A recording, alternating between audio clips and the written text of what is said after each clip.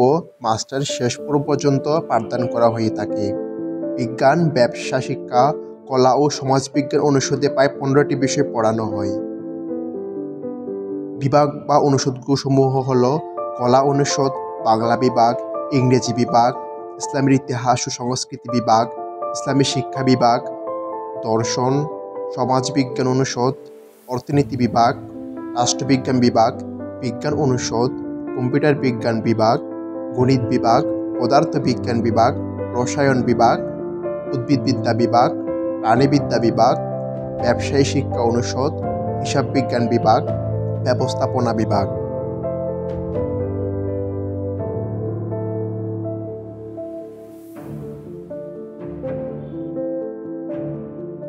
College campus. College ক্যাম্পাসটির আকার প্রায় তিরিশ একর বা এক লক্ষ তিরিশ হাজার বর্গমিটার। ক্যাম্পাস জুড়ে আটটি ভবন রয়েছে। কলেজ ফটকের দক্ষিণে একটি খেলার মাঠ আছে। কলেজ ক্যাম্পাসে পর্তুগিজদের দ্বারা নির্মিত একটি প্রাচীন ভবন রয়েছে। এই ভবনটি প্রায় এক শতাব্দী পুরনো, একে দারুল আদালত বলা হয়।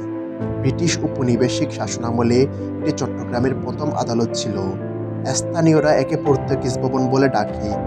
কেউ কেউ বলেন যে ভবনটি ষোলোশো শতাব্দীতে পর্তুগিজ জলদস্যুরা দুর্গ হিসেবে ব্যবহার করত।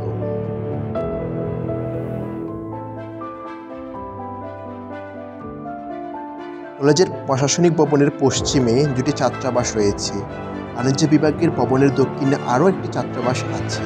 বাণিজ্য ভবনের দক্ষিণে অধ্যক্ষের বাড়ি এবং পাহাড়ের শীর্ষে একটি মসজিদ আছে। কলেজ ভবনগুলোর মধ্যে রয়েছে কলা ভবন, বিজ্ঞান ভবন এক, বিজ্ঞান ভবন দুই, নতুন একাডেমিক ভবন এক, নতুন নতুন একাডেমিক ভবন দুই ছাত্রী মিলনায়তন, হোস্টেল, নতুন হোস্টেল, প্রশাসনিক ভবন, ব্যবসায় শিক্ষা ভবন, মসজিদ।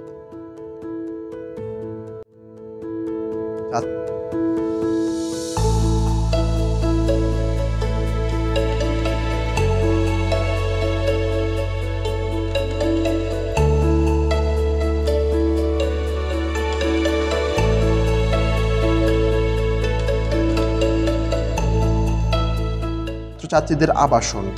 কলেজে হাজি মোহাম্মদ মহসিন মুসলিম ছাত্রাবাস ও নতুন হোস্টেল নামে দুটি ছাত্রাবাস রয়েছে। আবাসন ও ছাত্রাবাস কমিটির তত্ত্বাবধানে ছাত্রাবাসগুলো পরিচালিত হয়। এছাড়াও ছাত্রদের জন্য শয্যা বিশিষ্ট ডরমেটরি রয়েছে। এছাড়াও কলেজের ছাত্রীদের জন্য ছাত্রী নিবাস নির্মাণাধীন।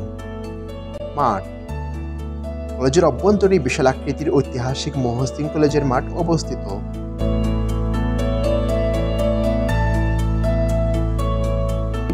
সরকারি হাজি মোহাম্মদ মহসিন কলেজের গ্রন্থাগার বাংলাদেশের অন্যতম প্রাচীন গ্রন্থাগারের একটি। এই গ্রন্থাগারে বিশ হাজারেরও বেশি বই আছে।